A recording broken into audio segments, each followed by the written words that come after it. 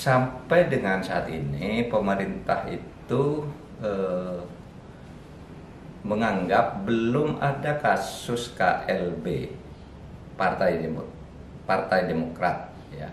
Kongres luar biasa. Karena kan kalau KLB mestinya ada pemberitahuan resmi sebagai KLB pengurusnya siapa.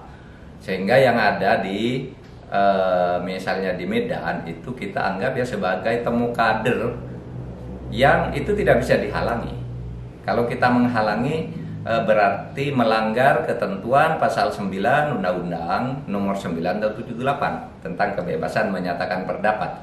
Di situ dikatakan bahwa boleh orang berkumpul mengadakan rapat umum gitu asalkan memenuhi syarat-syarat tertentu. Syaratnya apa?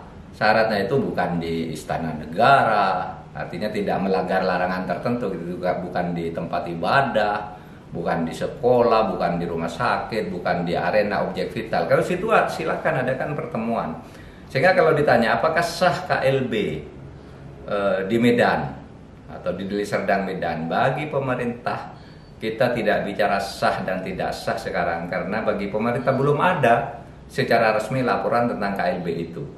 Jadi tidak ada masalah hukum sekarang. Pengurusnya yang resmi di kantor pemerintah itu adalah AHY ya AHY eh, putra Susilo Bambang Yudhoyono ya, itu yang yang sampai sekarang ada. Nah kalau terjadi perkembangan baru nanti misalnya dari uh, eh, KLB misalnya ya uh, orang yang mena, misalnya dari kelompok yang menyatakan KLB di Deli Serdang itu lalu melapor ini hasilnya baru pemerintah menilai apakah ini sah apa tidak sesuai dengan undang-undang apa tidak sesuai dengan ADRT atau tidak penyelenggaranya siapa baru kita nilai nanti.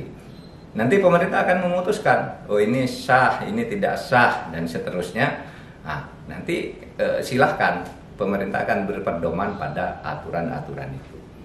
Jadi begini saudara kalau ada masalah internal partai seperti itu pemerintah memang dihadapkan pada serba sulit untuk bersikap ya. Apakah ini akan dilarang apa tidak secara opini kita mendengar oh ini tidak sah, ini uh, sah dan sebagainya secara opini. Tapi secara hukum kan tidak bisa. Kita lalu menyatakan ini sah tidak sah sebelum ada data dokumen di atas meja. Nah, oleh sebab itu ini juga terjadi dulu pada tahun 2002 eh, Pak Motori Abdul Jalil misalnya eh, mengambil alih PKB dari kelompoknya Gus Dur Presiden Megawati tidak bisa berbuat apa-apa, bukan tidak mau tidak bisa melarang karena ada undang-undang yang tidak boleh melarang orang berkumpul gitu.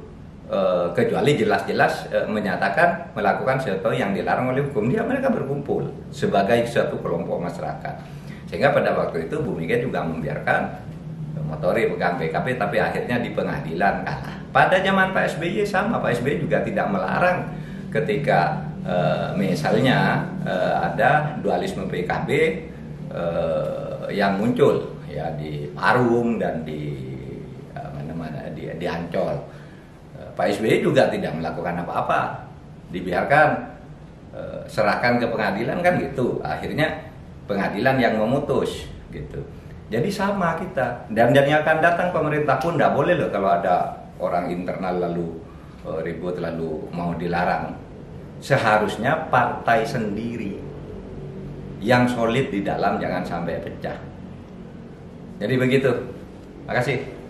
Terima kasih sudah nonton. Jangan lupa like, subscribe, dan share ya.